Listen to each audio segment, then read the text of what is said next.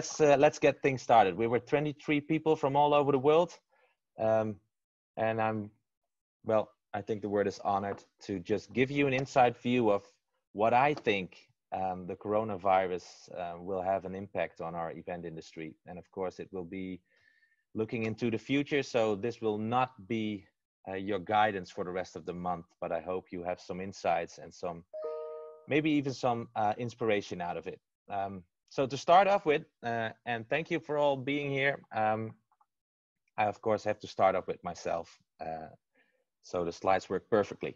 Um, my name is Sjoerd. Um, on the screen you see I'm very well known for undressing myself at stages whenever I win an award. uh, this was during the BEA World um, in, um, in, in Porto in Portugal. Uh, but on the right side, you see what we do. Uh, I'm the chief editor of uh, eventbranche.nl. That is uh, more or less the event media in the Netherlands. Um, and um, uh, we've got a second label. It's called Evenement Organiseren.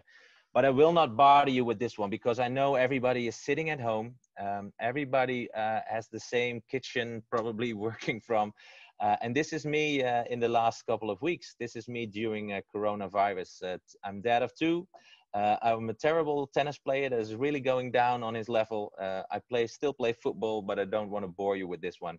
Uh, but I think uh, at this moment, uh, next to being event professional, at this moment we are all just people, um, and we're in the same um, in the same situation. And that situation will have a big impact um, on our industry. And I will try to give you a a view on how I think as a chief editor for now uh, 15 years. Thank you for that one. Um, what I think the impact will be, and I I, I uh, gathered some um, frequently asked questions, and I combined them in more or less uh, scenarios, uh, and I will I will compare them also with the scenarios we already had in our industry. Uh, so back to the slide. I'm also my first time in um, in the network table system, so please bear with me.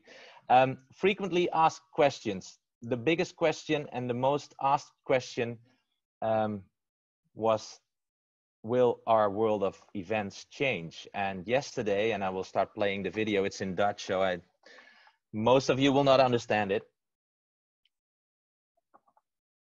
This was yesterday in Utrecht, in the Fabriek, an event called um, uh, they, they use the hashtag stay at home, but it's about how to touch each other when you're not in the same space, so online. And you now hear clapping because 50 iPads were there, um, and they uh, they were like the VIP guests for this event, and there was a lineup of great artists. I put them on pause because speaking through the noise is difficult. Um, but in uh, just a couple of days, they uh, they organized an event where um, uh, where there was a, a, a great list of, uh, of uh, entertainment over there because a lot of um, a lot of artists they they really need their applause once in a while. Um, so um, the glimpse of the future will be not only based on online events or uh, based on uh, what will happen with our industry, but it's also looking back uh, on two major events that had a real big impact on our industry.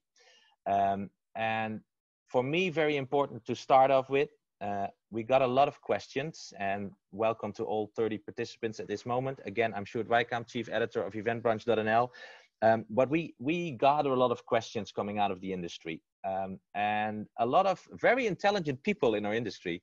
Uh, they asked us um, uh, uh, well, we need we need a context on this virus first of all, and um, uh, I think we all went through the same phase. Uh, first off, starting with okay, it's in China, and uh, is it the flu? Is it just like the flu? And then people died, and then we started to compare the death that's normally when there's a flu.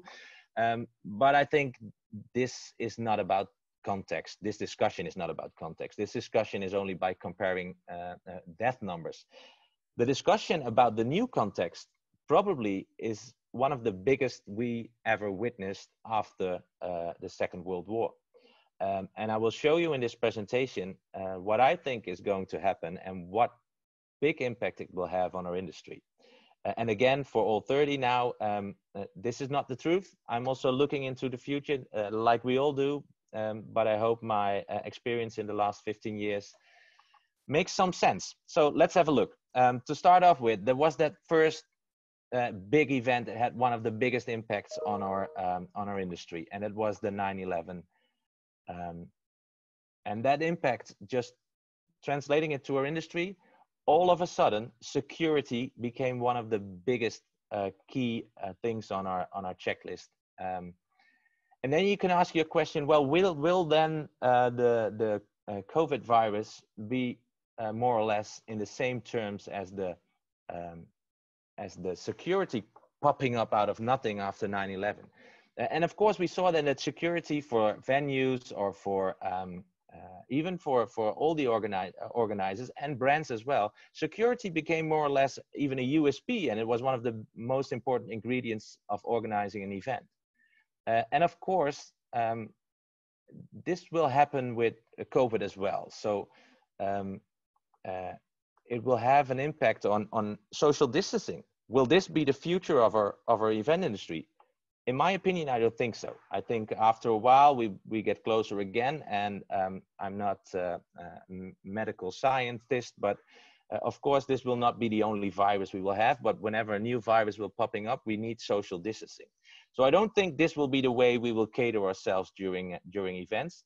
Um, but social distancing in the beginning, when lights go on orange or or even on green, uh, social distancing and uh, and hygiene will be one of the key topics for every organizer uh, in in the whole of the world because you now see all the different strategies in the different countries. You see the period of time that it takes to to even get to the highest point of death or or uh, the highest point of the virus itself.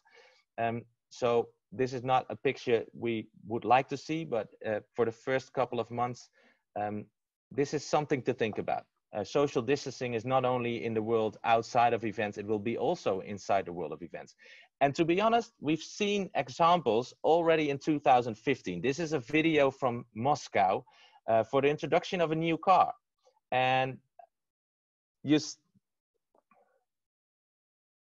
I'm sorry for the noise is too big, but I will explain what you what you will see in the video. Um, they use the venue with a lot of space between the seats, as you can see, and you can see now. It, just imagine being one and a half meter as as the uh, the, the, the people are now telling us to, to take distance from each other. Um, they organized an event uh, with no catering, with no decoration at all. It was all about VR. So I just give you a, a glimpse of this event and then I'll get back to my uh, points for, for this keynote. So just take a look. This was 2015. It was the introduction of a new car.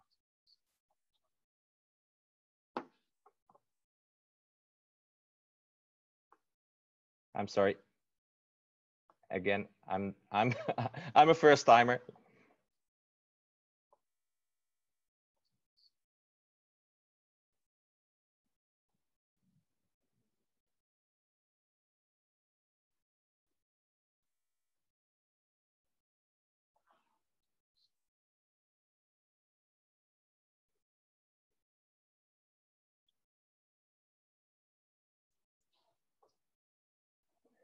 I'm sorry, I have to stop. There's no audio, so I will stop the video. I'm sorry for that one. Um, we will check that on later. I will have another keynote uh, next week, so then then the audio will be great. Um, uh, again, if you have any questions, we will now get to the points I want to share with you. And I just wanted to give you an example that events can be with social distancing as well. Um, but now we will get to the real points um, that I want to share with you. First of all, one of the biggest questions we had was, will then hygiene be uh, as big as security. And I don't, I think, don't do not underestimate um, uh, this this global um, uh, thing that is going on. The the hygiene, of course, will be a big part of all our business events. There will be no brand, no corporate that thinks that their their events can be the next place where the the virus pops up again. So hygiene, especially in the first coming month when when we can start organizing again, will be one of the biggest topics, like security was but do not think this is the only thing because where 9-11 was like an incident was like a big event this context of what um, uh, corona is now doing for the whole of the world and especially for our industry that is about live contact is so big and so huge that we have to ask ourselves different questions and these questions are more or less in the same terms as the uh, the financial crisis uh, back in the days in 2008 uh, and as you can see i was there already getting bold. Um, but the financial crisis, um, I think at the end, the, the 9-11 and the financial crisis more or less together will have the impact that uh, Corona will have on our industry. But the financial crisis had one, one big impact and it's very, very difficult to make a, a prediction about this one. But when the financial crisis uh, uh, hit all the countries in the world, one of the first departments where people were sacked um, was the event department. Um, and to be honest, that was more or less on our own because at that time, um, we're still a young industry, but our industry had some real difficulties proving ROI or proving the impact or proving the effect, uh, at least. Um, so it was very easy to sack or to um, to lay off people from the event department.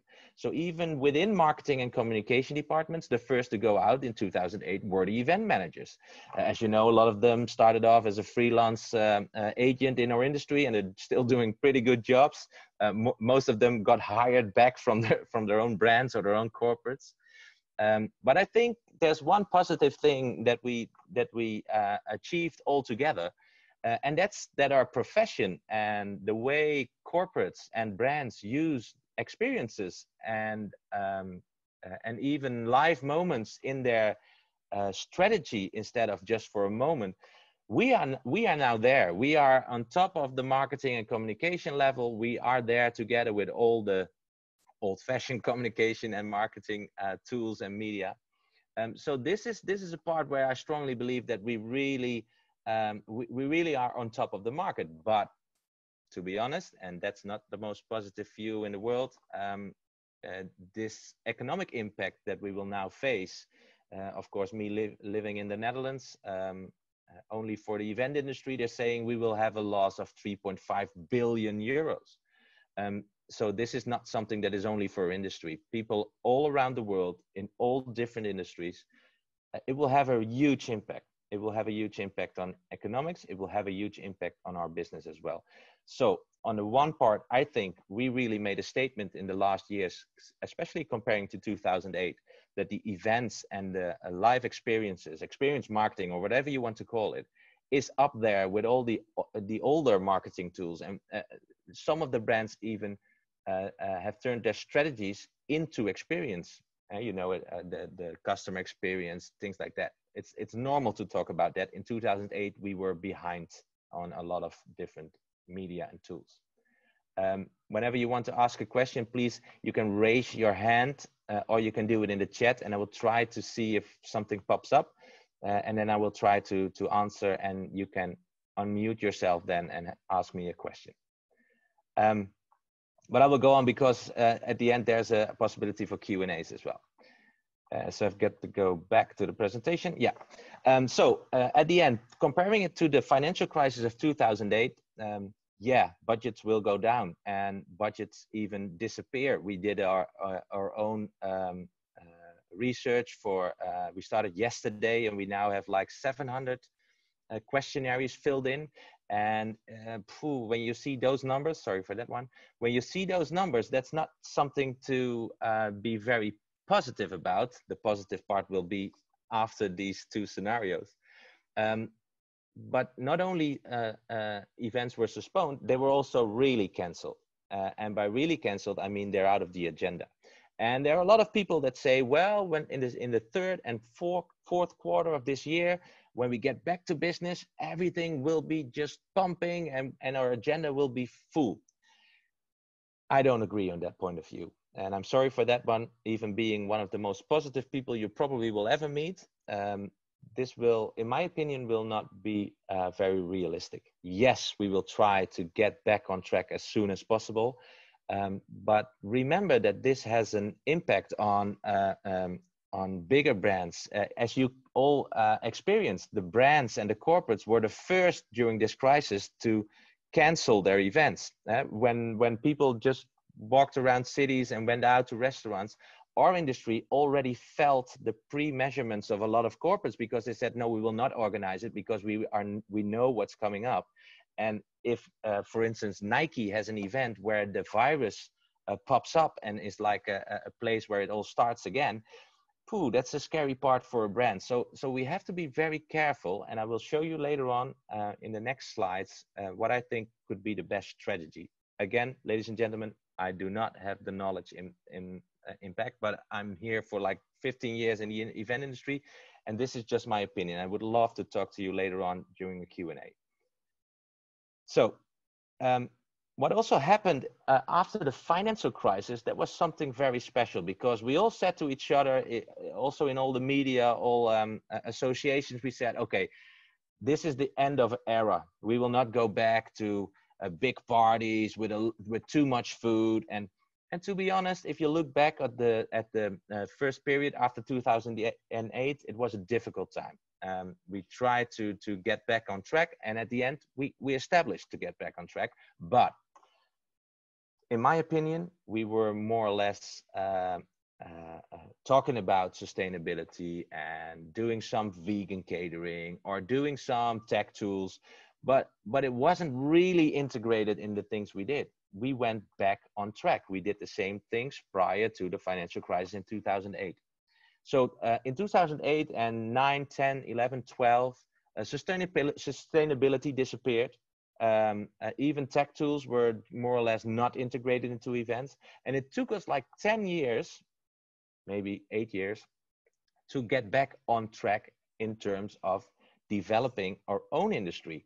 Uh, so now, when, at this moment where sustainability, vegan, uh, thinking about the climate, thinking about traveling, thinking about tech tools, thinking about uh, making our events more sustainable, um, now this happens.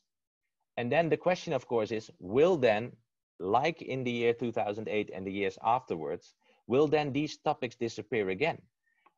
In my opinion, no, they will not. I think this virus, this, this global warning that we got out of some virus that we cannot touch, that we cannot see, in my opinion, this is the moment that all the discussions we already had, um, uh, all the things about climate, about sustainability, this will now be common.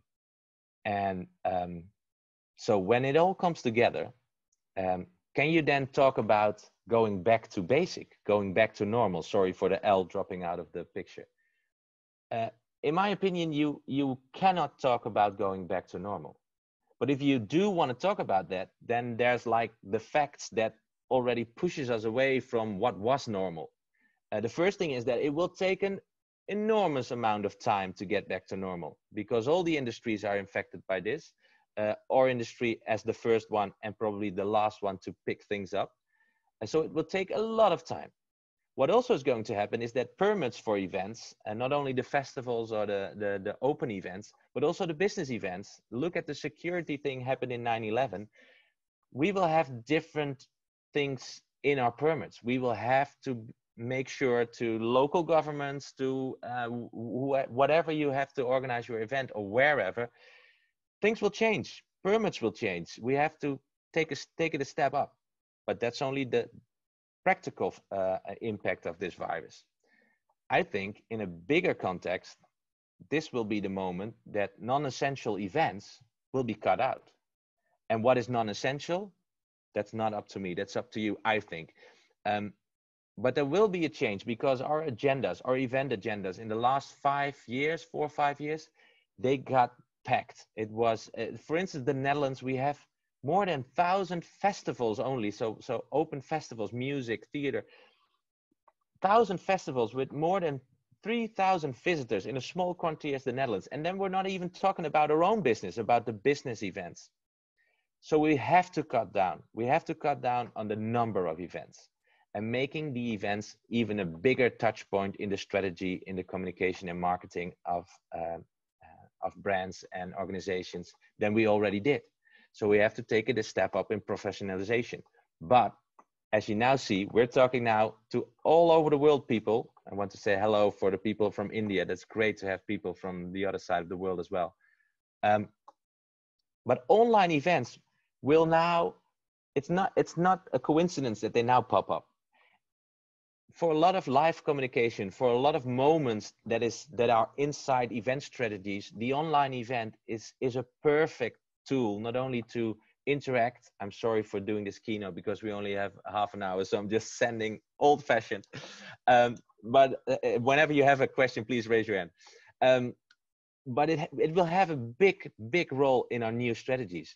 I think pre-phase, after phase, it will all be online. And of course, the live moments that you, you can feel it now. We in the Netherlands we have that moment that the cows come out to go for the first time back to their grass fields and they they start jumping. That's the feeling we all have i'm sure for that one. We want to meet up with people again and that's the thing that will support our industry getting back out of this uh, out of this crisis. But we will use online events in a proper way knowing how to do it knowing what to do with it in pre-phase in after phase even in hybrid forms um, and then and then bringing down all the traveling bringing down all the costs for for catering and for things like that i think this is what's going to happen. So time for change is probably the summary of all the questions we had is also the summary of the scenarios. Um, and it will be more or less radical. I think this this is the wake up call for a world that we created ourselves. The virus proved the vulnerability of the world that we created. And not only the world that we created, but also our industry. It also proved the vulnerability of our industry. Um, so again, number of events will go down. Online and hybrid will be more or less a standard. I'm not saying that online and hybrid will take over these live moments because uh, as event professionals, we all strongly believe in the economics of experience, the experience economy. Um, but experience can also be provided online and we will take steps and we will uh, evolve uh, and, and develop those online experiences as well. The example where i started off with uh, people were even crying on their ipad. They were looking to the artist and they were crying at that moment. It was so impactful. Um, and next to that tech will take the chance as well. Finally uh, we could do uh, an event where people in the netherlands will meet up with people in india in germany and in england uh, with uh, virtual reality or with augmented reality. And of course, still in the Netherlands could be a, a, side event and in India as well, where people meet up. But then you open up to the rest of the world. So this is the moment that all the things we were talking about, all the people on the on like the, the early adapters in our industry that started screaming for, for years ago, please adapt these things. Now we're forced to adapt it. And in an even bigger picture, bigger picture, sustain, sustainability, climate, social awareness, um, equality, inclusiveness, uh, less traveling, and go on and go on. If you want to do it in the chat, please give me all the examples you, you are now thinking of. These will be more or less the basic principles of our industry.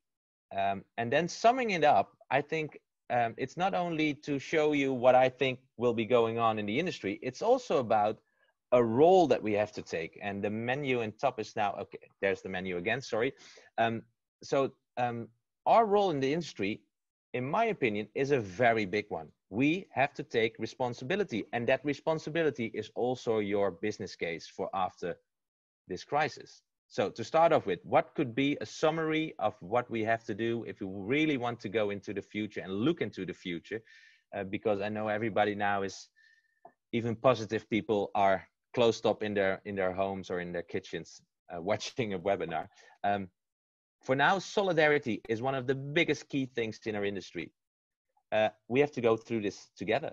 Uh, and there's a beautiful example in the Netherlands where a venue um, got a cancellation um, of a big event by a big brand in the Netherlands.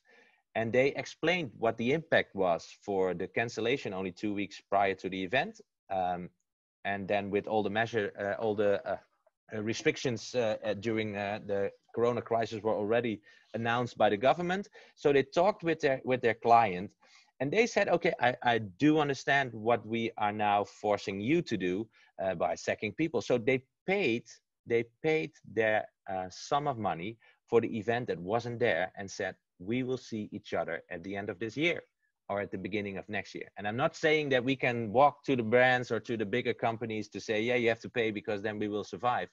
But this feeling of solidarity, we have to explain the position we are in. We are now, for instance, explaining to the government in the Netherlands that we are not about an event agency or a client or an event caterer. No, we are about all these different uh, types of event sports, as I would like to tell them, and that that together make a huge impactful marketing or communication moment So solidarity, however we can create it, is now number one priority. But after that, we have to use our creativity and we have to use event tech as well as all the online, digital, or virtual live communication and experiences. Um, they have to be your priority because we will not organize events from now until uh, June is now in the Netherlands, the first date that was called out.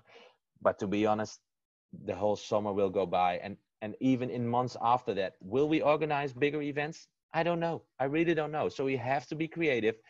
We are the industry, I would like to say, not the industry of events, but we're the industry of live contact. And if you look at it from that point of view, we have a lot of opportunities going on um, again by uh, organizing proper online events as well as digital events or, or virtual. And then at the end of it when the crisis is over we have to take it as a new starting point.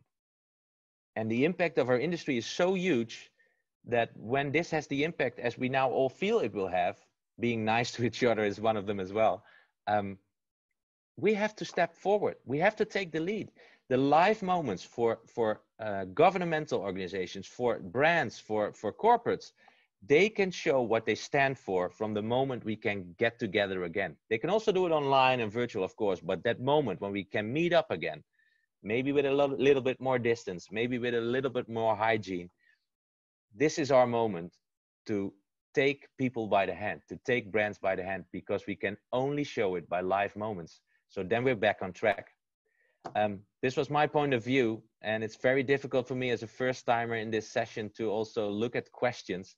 Um, but for now, if there are any questions, you can you can raise your hand, and I would love to have a discussion, an open discussion, uh, if possible. And if the people from network tables are still there, uh, we've got 34 people. Uh, there's a hand raised. Yeah, I can check it now. Uh, sorry, or it's, it's it's it's very easy to use system, but I have to check where the hand is. Uh, sorry, who was the one that uh, that uh, raised the hand? Can you put it in the chat so I can open your microphone? I also see a Q&A from Hannah. What does your expertise say about the chances and threats for uh, freelancers since the major increase in freelance since the previous crisis? Yeah, that's a very good one. I think we are more or less now, um, uh, I can answer live, that's cool uh, I think do you you would like to answer this question live? Um, Hannah, can you talk to us now? I think if you unmute yourself, we can talk. But I will I will give the answer, and whenever you can talk, please just scream through me. Um, the question of Hannah is: What does your expertise say about the chances and threats for freelancers uh, since the major increase in freelancers since the previous crisis? This is a very good question. I can only just pop up with an answer, so I'll try to do that. Um, after 2008, we had a lot of freelance, uh, very good freelance event managers and all types of those professionals in our industry. For now, these people will have like no income at all, um, and um, but they can they can get back in business whenever things are getting started again. Uh, so the number of uh, of freelancers is for the first couple of months. I think we will have a slow start. That's my opinion. That's that's how I look at it it will be a very difficult time. But at the end, you can also be an advisor on how to survive these couple of months. And so get back on the three uh, examples I gave you and find some creativity, find some concepts in which brands or your former clients can use online tools or tech or virtual uh, reality or things like that to create again live interaction live uh, contact with their clients or with their with their partners or whatever they want to interact with um, so I don't think there's a big difference between being a freelancer at this moment and uh, being a, a, company or a, an agency or whatever, except for that the governmental um, uh, uh, things that are now announced. Um, there's only one thing for the freelancers, for example, in the Netherlands, and that that is to have a, like a small amount of money to to buy your groceries. Um, so it will be a hard time for all of us, and I don't think there's just one uh, example or one answer for that question. Is there anybody else who raised the hand because this is a very difficult one? Um, to be sure, the, um, uh, the, my email address is underneath and I have a second session on 10th of April, uh, again about this topic. It will be more or less the same presentation. Um, but whenever you have an, another question, I will try to answer them. Uh, thank you for your elaborate answer. What would you focus on as an event professional in the Netherlands for the remainder of this year, since your forecast is that quarter three and quarter four won't be up to the level that we need just yet? Okay, again, a question from Hannah. Uh, first of all, I think it's it's a global answer. It's not only about the Netherlands. Um, focus on me being wrong. Focus on on the possibility that that things will be more or less back to normal uh, focus uh, on uh, that in your mind and in your heart. Be positive. Try everything you you can. But then next to that um, my focus would be on uh, combining powers with uh, tech people combining powers with the the early adapters. And for those people it will sound very strange because they're there for like 15 years already but the early adapters on online events on everything we can do as long as we not can meet up we have to be creative and the possibilities are there um, so I hope this more or less answers your answers your question. Uh, another question, and it's probably one of the last one because the time is running out. Um, and please mail me your questions, and we'll try to get back at you. But the last question I can answer, uh, no, the first last question. I will do two more questions. Uh, Glenn Martins, do you think that celebrating life will not return after the government unlocks the country? Uh, it's not a financial crisis, says Glenn. Um, it's not a financial crisis and that's something where i have like that positive feeling that when things get started up again that the economics probably will i hope will boost uh, uh, and, and and will will be back on track as soon as possible. On the other hand glenn um, this is a global thing and and as you look at the different countries and the impact on different countries uh, airlines being shut down um, food this is this is something not for me to predict but i want to stay positive and i want to take everything we can um, but i think whenever the, country is unlocked ooh, we will be careful i think. Um, you know that uh, after the first weeks after 9-11 uh, we were like uh, i don't know if the word was scared but it, it made a big impact. Um, this in my opinion again will have a bigger impact because we now have uh, uh, countries in, in the western part of the world that are now facing a lack of medical staff. So uh, uh, my former neighbor, uh, she lives now in, in Bergamo, and she tells me that for like two weeks ago already, people in front of the hospital decide if you can come in or, or that you have to go back to home and, and slowly die. And that's that is more or less the the end of, of the world as we know it and that could be a song as well. Um, but but it's it's as big as that, and I don't think we have to underestimate it. But I do think that we have a big chance to to be the industry that pick things up as the first one and as the strongest one, and to take people by the hand. Hannah will email me. Uh, I hope everybody enjoyed the session. Uh, I'm sorry that the, the the first time for me also in the system it was a little bit searching for things. Uh, I will answer the questions in the chat. Um, but I promised the people to uh, to be on time, so we just out three minutes late. Um, I hope you enjoyed it. Uh, stay strong. Oh yeah, this was my last slide. Sorry for that one, folks. Stay strong. Uh, in my opinion, stay positive as well. Try to do your utmost best. Um, and we're all in this together. Bye.